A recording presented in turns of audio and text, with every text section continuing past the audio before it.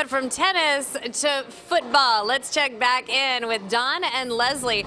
Day two, guys. How are they looking out there at the NovaCare complex? yeah, it's day two of training camp, and this is not like your old school football, right? Like we're in training camp, there was hitting immediately, and it, it's a little bit more chill yeah. in these parts. They'll probably ramp it up a bit tomorrow. That's right. We have a day off on Sunday, but I got the chance to talk to Zach Ertz today. I guarantee no one had an off season like Zach Ertz. He watched his wife win a World Cup, and he says he's very proud of her, but now he has to win another championship so he can even the score.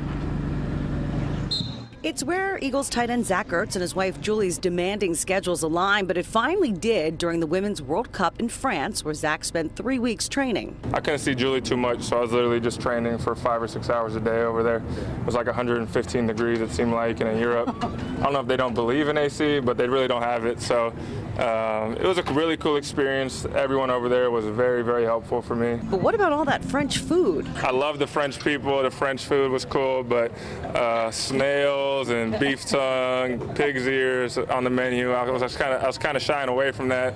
Their ham sandwiches is like a big baguette with one slice of ham and a little slice of cheese. So uh, definitely a different experience, but um, I'm right where I need to be heading into camp. While Zach helped deliver the Lombardi Trophy to Philadelphia after winning the World World Cup for the second time, he's playing catch up to his wife. That is the only goal that I have. I mean, just for a household standpoint.